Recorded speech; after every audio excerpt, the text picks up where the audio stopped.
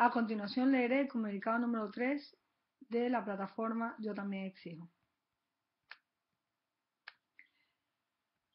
Declaración de principios para la acción del 30 de diciembre a las 3 de la tarde en la plaza.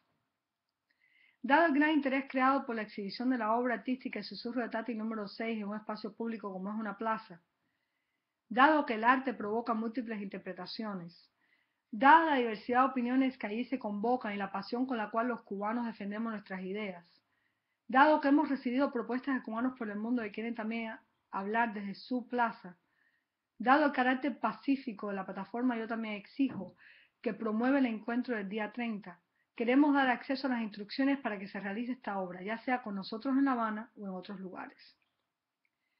Una nota, antes de comenzar la obra, una persona debe explicar y leer las reglas que le vamos a dar a continuación a todos los presentes y estar seguro que se van a respetar. 10 instrucciones para activar la obra de Susurro de Tatrin número 6. 1. El micrófono estará abierto para todo el que quiera usarlo.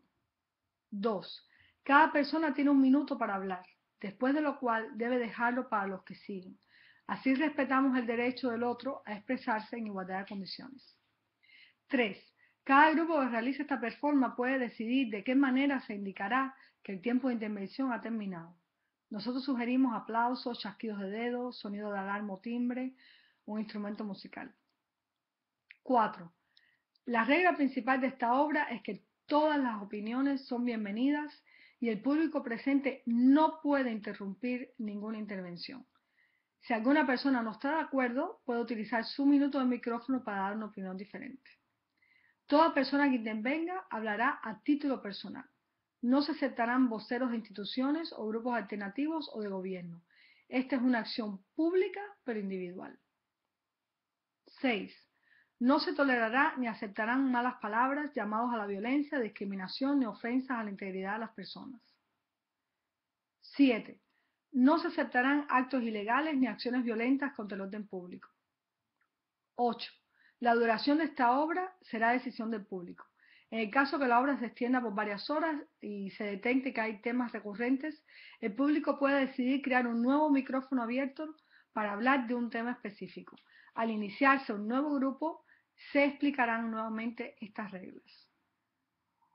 9. El orden de las intervenciones será decidido por el orden en el que se pida la palabra. El orden de las intervenciones debe ser respetado. No se aceptan colados.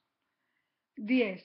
La obra será un espacio de arte donde todos podemos proyectar nuestros deseos y nuestros imaginarios humanos sobre Cuba. Muchas gracias.